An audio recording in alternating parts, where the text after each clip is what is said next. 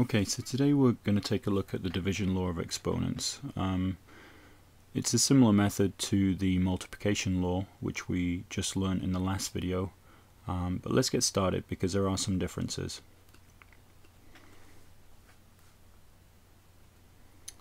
Okie dokie.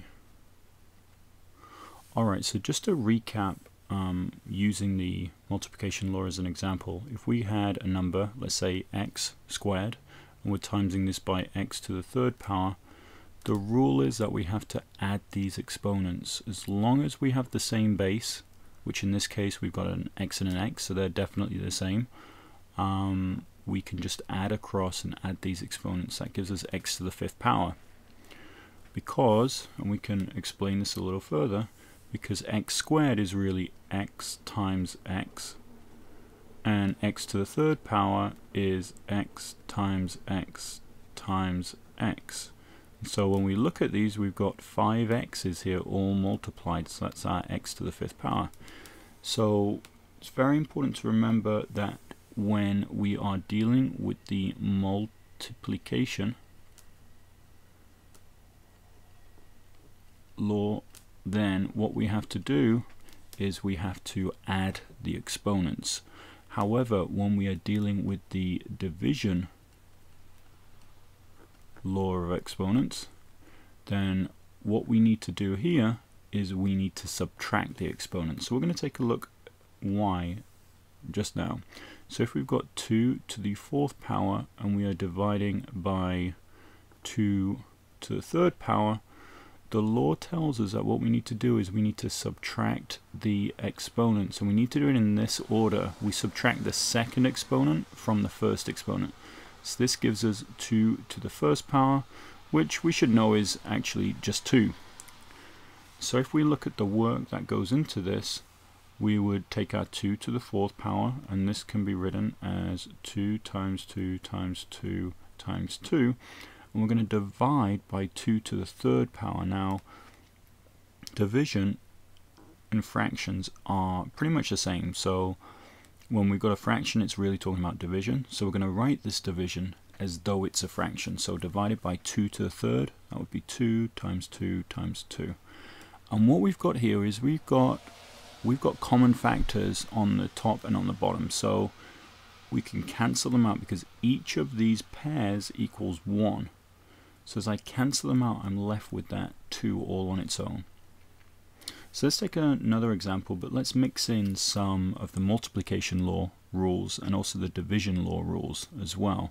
So let's say we've got 3 squared times 3 to the fifth power, and we're dividing by 3 to the third power.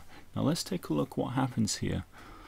Again, if we're using PEMDAS, we've got multiplication and division. Those two are equal power, so we, we've got to basically do whichever one comes first. So here our division comes before, sorry, our, our multiplication comes before our division here. So we're going to tackle this piece first. So 3 to the second times 3 to the fifth. The 3 is the same base. That's great for us because we can use the multiplication law. That gives us 3 to the seventh power. So all we did was just add those two exponents. That comes from the 2 plus the 5. And now we're left with divide by 3 to the third power. Well, the division law, as we learn up here, over here, tells us that when we're dividing numbers that have the same base, we subtract the second exponent. So this becomes 3 to the 7 minus 3, which equals 3 to the fourth power. That's our answer here. Okay, one final example that I want to give involves a negative number. So if we had something like 5 to the divided by 5 to the 10th power, in this case we would we've got a common base, so we keep the base and we do 6 minus the 10 because this is the order that we have to subtract. So this gives us an answer of 5 to the negative 4 power. And so that's fine that we've got a negative exponent. That's perfectly acceptable. But it's 6 and subtract the 10 and end up with an answer of 5 to the negative 4. That's perfectly fine. Okay, so most of these vocabulary words and phrases are the same. We've just added the division law, but it's Very important that we remember these and that we don't forget what these words and phrases mean. Okie dokie. Okay, next. I know last time when I did the multiplication law of exponents, I spoke about different formulas. You know, strictly when I mentioned the um, exchange, currency exchanges, those would be linear formulas, and so exponents wouldn't be used in those cases. The same with Fahrenheit to Celsius, that's a linear conversion, and so exponents wouldn't be used. But I brought those equations up to to segue into some of the more complicated life expectancy or geology formulas for drilling for oil. Um, but really, there's so many other um, real world um, uses of exponents and, and, especially formulas and equations. So, um, a couple of others that I was thinking about are physics for waves, sound waves, and energy and light wave. There's many different formulas that involve exponents, and we really need to know how to handle those exponents when we're dividing by numbers with the same base, and also multiplying. So, physics and also chemistry. Also, in in chemistry, you know, when we're dealing with compounds um, and different elements and um, reactions, there are equations where we use exponents to we use exponents and the laws of exponents to evaluate different outcomes from investigations. So that's real world in brief. Let's move on a little bit. Okay, so here are some examples. So let's take a look at these. Um, we're going to go through them. Please uh, continue to take notes on these as well. So in the first one, we've got 5 to the 7th power divided by 5 to the 2nd power. So we have the same base with this. So what we can do is we can go straight in here. I'm just going to create another layer. We can go straight in here and because we have the same base and we remember the rules, we just do 5 to the 7th minus 2, so that gives us 5 to the 5th power. That's our answer. And if we needed to, we could explain more fully by doing 5 times 5 times 5 times 5 times 5 times 5. That's 6 of them. We need 7. So that's our 5 to the 7th. And we're dividing by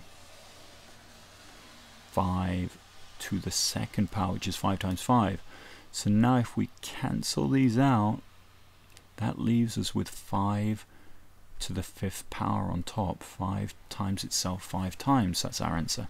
Okay, for the second one, we've got 3 to the second power divided by 3 and that's really 3 to the first power. So we can just do this.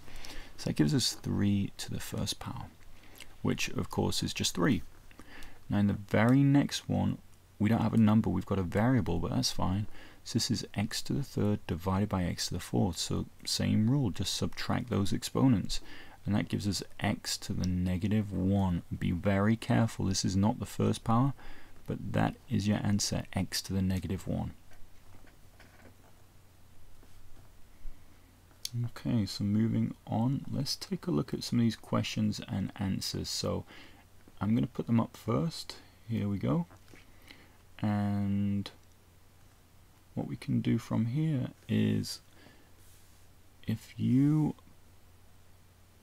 pause the video right now and give these a shot yourself then we'll come back in a minute, press play, and we'll go through the answers together and see how we did. Okay. Okay, so we're back. Let's take a look at some of these answers. So here we've got 10 to the 12 divided by 10 to the 20th. Now it's the same base, which is good for us, so we just subtract these exponents. So 12 subtract 20 is negative 8. So be very careful here. Make sure we have the right exponents. Okay, over here, again, we've got the same base of 10 to the 15th divided by, sorry, y to the 15th divided by y to the 7th. So again, just subtract them. That gives us y to the 8th power. Okay, finally over here, this is still division, um, and so we do exactly the same thing. So 6 to the 9 divided by 6 to the 5th, we just subtract that 5 from the 9 and that gives us 6 to the fourth power. So those are our answers. Okay, next it is your turn. here are your questions.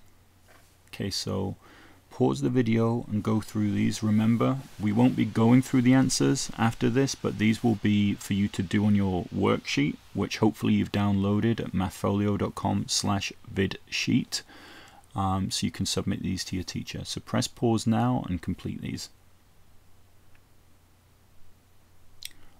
Okay, so finally we've got a monster question and usually I give you a lot of clues here so let's take a look at this one and see if I need to give you many clues. Okay, so the only thing I'll say is we've got a mix of operations and we also possibly need to break down that 25. Give it a shot, fill it in on your sheet and submit it to your teacher. Thanks again for watching.